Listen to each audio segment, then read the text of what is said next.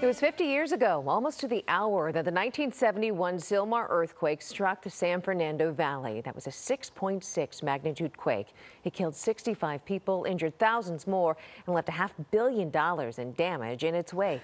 Our Leslie Lopez is here with a look at why that earthquake was a mm. big turning point in the science of earthquakes. Leslie? Yeah, it really was. It was a major disaster here in the Los Angeles area, and it actually ruptured along a fault line that wasn't previously known to be a threat here. Now, renowned, renowned seismologist Dr. Lucy Jones, I did speak to her, and she did help explain what this means, at least that earthquake five decades ago, to our science here today. Take a look.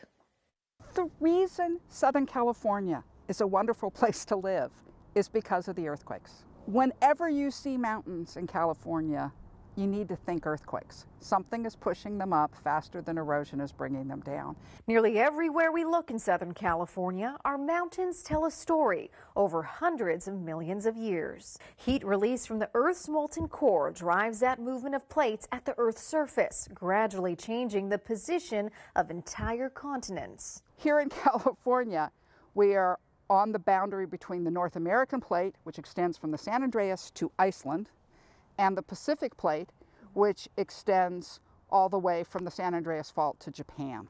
As the plates move, stress builds up beneath the Earth's surface. The heat inside the Earth needs to get out, tries to cool off, so hot lava comes up in some places, pushes the rocks out. The force of the 1971 Sylmar quake actually pushed the Santa Susana Mountains up by about six feet because it's a thrust fault pushing one side of the fault up and over, as you can see in this model. So what was different about 71 is that we ruptured through a fault through houses. And we saw all of these houses ripped apart. And it helped change the focus and made us realize that this is a big risk for, uh, for Los Angeles in particular. And so the fault goes right through this propane facility. Brian Olson with the California Geological Survey took us on a tour of where the Sylmar San Fernando Fault ruptured to the surface that day back in 1971. This block went up just shy of three feet, and the, on the far side it moved to the, to the left about eight inches. Here's a home on Chippewa Street in Sylmar back in 1971. It broke through the, uh, the grass. That is the expression of the fault. So the fault forced this side up, about a foot up and about a foot to the left. The same home still there today with a retaining wall to accommodate the earth pushed up in the quake. 12 and a half miles of the San Fernando Sylmar Fault broke the surface that day.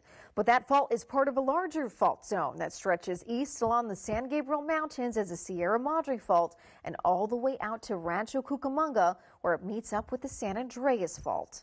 We could move all the way from, from Cajon Pass to Santa Barbara. Now, if, we, if it actually did that, we would be over, approaching magnitude 8, and it would be by far the worst earthquake we could have. We don't think this fault moves all together at once? Oftentimes when people think about the big one, they think about the San Andreas Fault. I'm actually standing on top of the San Andreas Fault here in San Bernardino. It starts south in the Salton Sea and cuts across San Bernardino through the Cajon Pass and continues northbound into San Francisco and ends at Cape Mendocino. We talk about the San Andreas because the magnitude is probably the largest. We know that we can get a 7.9 easily on that.